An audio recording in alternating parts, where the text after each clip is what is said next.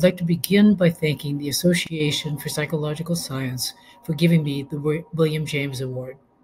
This is a meaningful award to me, both because I'm a long-standing admirer of William James and because the Association for Psychological Science has always stood for the role of basic science in psychology.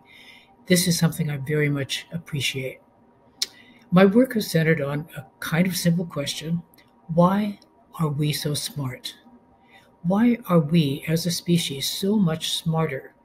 Not necessarily so much wiser, but so much smarter than other intelligent species.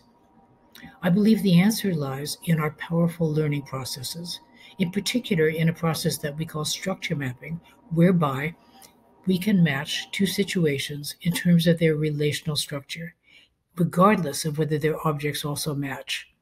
Once we see a common relational pattern, we can often abstract it and use it in other domains, regardless of whether they match in objects or in context. This gives us the ability to develop powerful relational abstractions like central force in physics, exponential growth in mathematics, and vicious circle, which can apply equally well in social causation and in physical causation the ability to do this kind of thing is, has been shown in our lab and others to be important in undergraduate learning of science and mathematics and other domains. It's also important in the history of science and in discovery.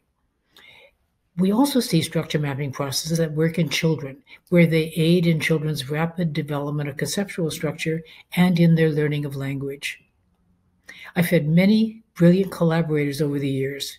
I'd like to single out just one, Ken Forbus of Artificial Intelligence.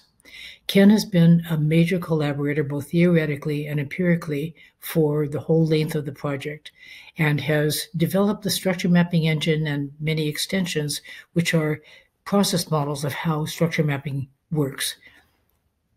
And this has been immeasurably valuable in tightening up the theory. Thank you.